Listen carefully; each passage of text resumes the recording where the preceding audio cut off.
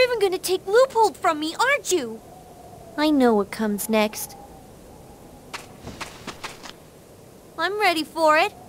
Go ahead and kill me. Just like you killed my father and the people from the mine. Get a grip. If we wanted to kill you, we would have done it a long time ago. Don't worry. Our attacks on Loophole were just enough to temporarily interfere with its drive system. It should be back to normal soon. I don't need your pity.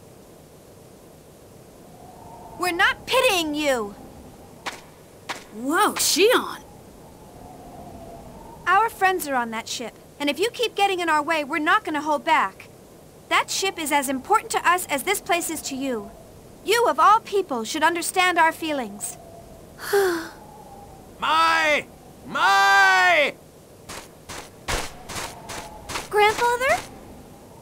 Oh, you're hurt. You foolish tomboy. I'm sorry. They talked about you, so I thought these U-TIC soldiers had gotten you too. These people have nothing to do with U-TIC.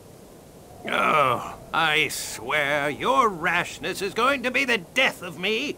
Can't you be a little more ladylike? The mine workers all ran away in fear of U-TIC. If I don't protect this place, who will? And besides, Daddy was... This place connects you to your father, doesn't it? Don't worry. We won't tread on your memories. Your ship should be up ahead. Mai, If you're done here, then go. I don't need any more trouble. thank you. Huh. Jeez, she's just as stubborn and aggressive as a certain someone else we know, right, Shion? Why are you looking at me?